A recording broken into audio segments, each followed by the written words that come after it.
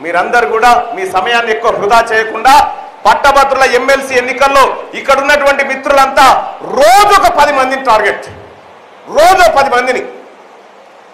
మీ ఊర్లో ఎంతమంది మీకు సపరేట్గా గ్రామాల వారిగా లిస్టు కూడా ఇచ్చారు కాబట్టి ఆ లిస్టుకి సంబంధించినటువంటి ప్రతి గ్రామ శాఖ అధ్యక్షుడు ప్రతిరోజు మానిటర్ చేసే విధంగా అక్కడి నుంచి మండల అధ్యక్షులకు వివరించే విధంగా మండలం నుంచి ఈరేష్ అన్న టేబుల్ మీదకి సాయంత్రం కల్లా జరిగిన రిపోర్ట్ అంత వస్తే అక్కడి నుంచి గాంధీ భవన్లో ఉన్నటువంటి వార్ రూమ్కి ఎప్పటికప్పుడు సమాచారం చేరే విధంగా ఈ వ్యవస్థ నడవాలి.